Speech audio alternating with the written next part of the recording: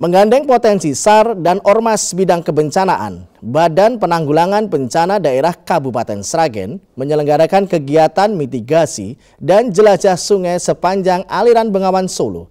Kegiatan ini antara lain bertujuan untuk memetakan daerah aliran sungai rawan bencana, sekaligus untuk menentukan titik kumpul dan pemetaan tempat naik turunnya perahu LCR jika terjadi peristiwa kecelakaan di air.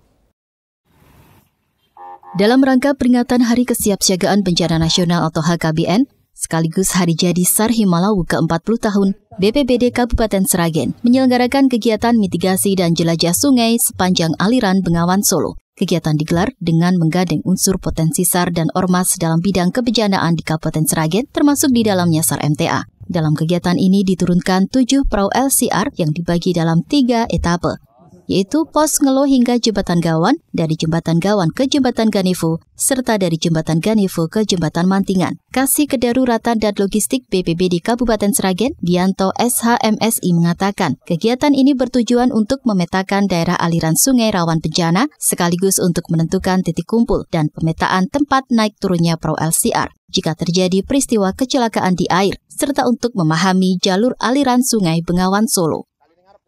Tujuan dari kegiatan susur sungai dalam rangka HKBN tahun 2018 ini adalah untuk mitigasi dan pemetaan daerah rawan bencana, yaitu bencana tanah longsor yang terdapat di sepanjang gas Sungai Bengawan Solo. Kontributor Seragen Jawa Tengah, Komarudin melaporkan.